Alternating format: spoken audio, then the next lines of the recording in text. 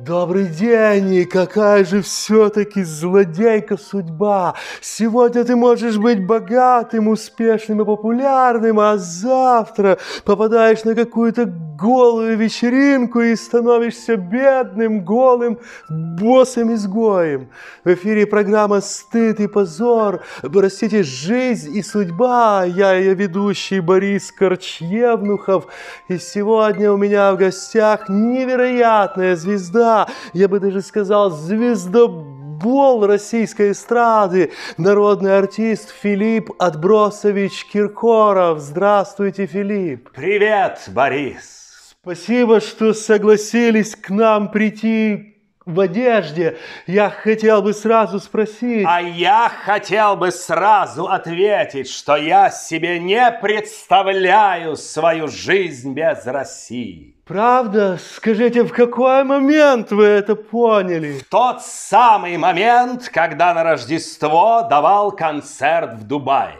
Мы там вместе с Мишей Шафутинским исполнили песню «Жара Дубая», чтобы нашим соотечественникам, которые столкнулись с холодрыгой Подмосковья, стало капельку теплее. Это так великодушно.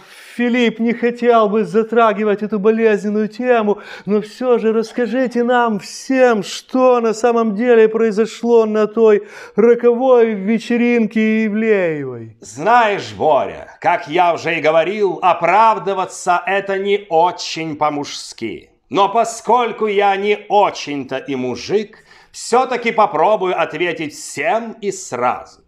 В жизни каждого человека бывают моменты, когда зашел не в ту дверь. С вами именно это и произошло на той вечеринке. Да, я просто с самого утра встал не с той ноги, вышел не на ту улицу, сел не в тот лимузин, приехал не к тому зданию и, как следствие, зашел не в ту дверь. И я сразу понял, что мне там делать нечего.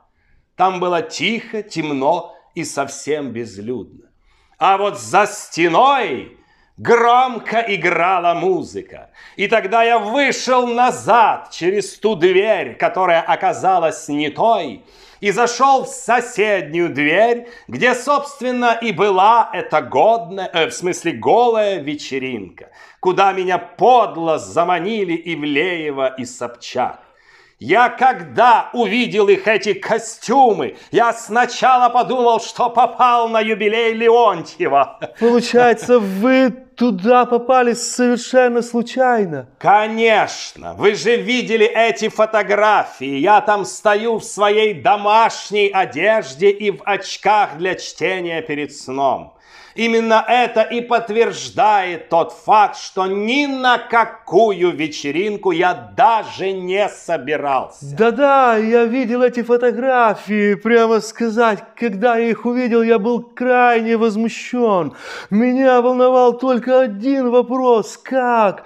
Как так можно было не позвать меня на эту вечеринку? Борь, Борь, тебе очень повезло, что тебя там не было. То, что там происходило, это зрелище не для слабоманерных. Такое чувство, что вы меня сейчас не успокаиваете, а еще больше интригуете. Расскажите подробнее про эту вечеринку. Нет, давай лучше вернемся к моим оправданиям. Я все-таки народный артист и патриот своей страны. А я все-таки ведущий этой передачи, и мне интереснее услышать вульгарные подробности с той вечеринки. Ну ладно, больше всего меня шокировал голый рэпер Васю, у которого из одежды был только носок между ног. Дырявый?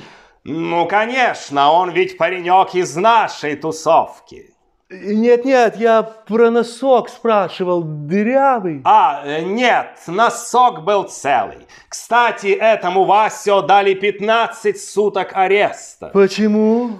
Ну, ты ж понимаешь, одно дело войти не в ту дверь, как я, А другое дело войти не в тот носок, как он. Скажите, у вас случайно нет телефончика этого носконосца? Хочу узнать, какого размера у него был носок, не хочет ли он поменяться носками? Нет, Боря, у этого носка уже есть новый счастливый обладатель. Правда? Расскажите о нем поподробнее. Ну, наконец-то ты снова решил поговорить обо мне. Спасибо, мне приятно. Да-да, конечно. Скажите, Филипп, насколько я знаю, вы недавно встречались с Песковым. Да, точнее нет. Я предлагал Пескову встречаться, но он сказал, что у него есть навка и просил меня больше не делать ему таких соблазнительных предложений. Я бы тоже не удержался от такого предложения, но вопрос был совсем не о том. Мне интересно, о чем вы общались с Песковым во время встречи? Ну, там разговор был короткий. Я попросил Дмитрия Сергеевича, чтобы такая оплошность с моей стороны не стала причиной ограничения моего творчества в России. Потому что вся эта шумиха не стоит и выеденного изумруда на заднице Ивлеевой. То есть, простыми словами, вы ему сказали, что переживаете за свою подтянутую сотнями пластических операций шкуру? Ну, это как-то грубо, Борис. Ну это ж как бы правда, Филипп. Да, именно поэтому я сегодня здесь, а не в голубых огоньках или новогодних мюзиклах. Но будьте уверены, в отличие от Ивана Васильевича, Филипп Бедросович не меняет профессию.